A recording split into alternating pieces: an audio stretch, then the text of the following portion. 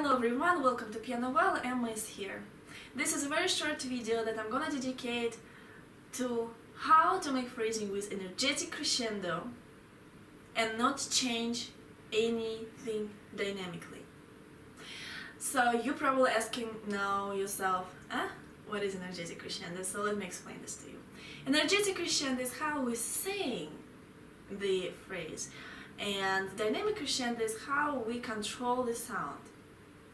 Uh, to start with, let me give you a little introduction one more time about how we create music. So we create music with this cross. Uh, there is a constant vertical line, which is our imagination, we imagine sound, and then horizontal line is how we actually connect this sound to the next sound and we connect it with our singing. This is the space between notes where we create music, the music is created between sounds. So basically we imagine sound, we sing it horizontally to the next sound and we're gonna imagine next sound again our vertical line again sing so imagine sing imagine sing imagine sing non-stop and so this is imagine our um, vertical line is our imagination. And this is our singing. This is our energetic crescendo. So mm, the crucial thing to understand that the vertical line and horizontal line can be independent. Meaning that you can make energetic crescendo in your singing but still keep the sound on the same volume. And let me now explain what I mean. So if we, uh, let's say, take this motive, and let's say we're gonna come to uh, descending second. No, well, that's my interpretation. I, I wanna do this right now. And uh, if I sing it with energetic crescendo, it's gonna uh, sound this way.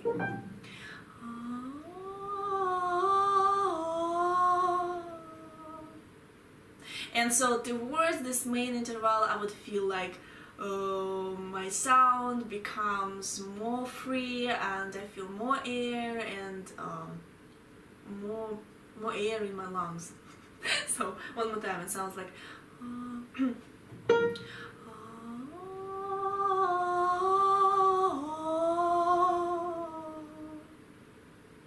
Now we can have three ways of playing this motive.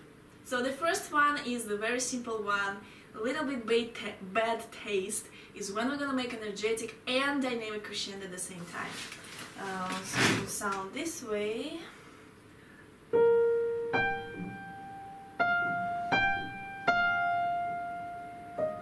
So this is, happens when we definitely like not really control what we're imagining and this is absolutely okay in the very first step when we try to feel the phrasing with energetic crescendo. N now excuse me the next step when we're gonna make it a little bit more advanced we're gonna make energetic crescendo with uh, no dynamical changes so we're gonna control with our imagination our sound, but yet in our singing we're gonna open up towards the uh, main interval.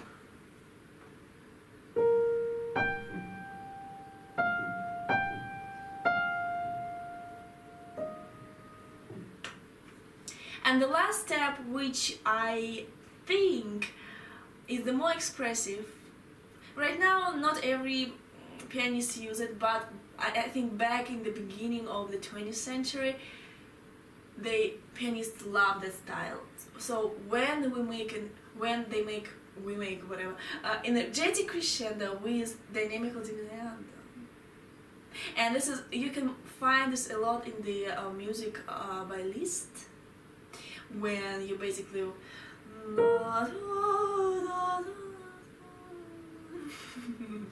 something like this. So it, it's gonna sound this way.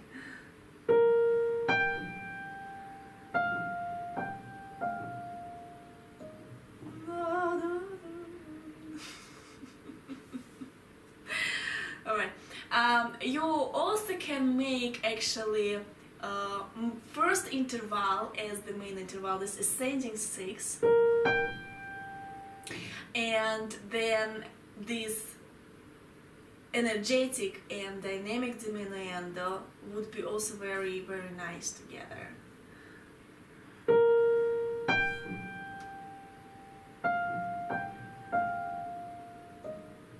And it sounds more peaceful. Like every time you start with the main interval go down, uh, that brings you this more peaceful and smooth line to your phrase.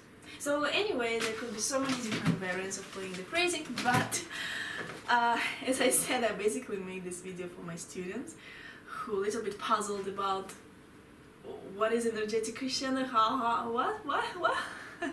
so now they know. Every time they ask me, I'm just like, okay, go watch this video. Thank you so much. Have a great day today and see you in my next video. Bye bye.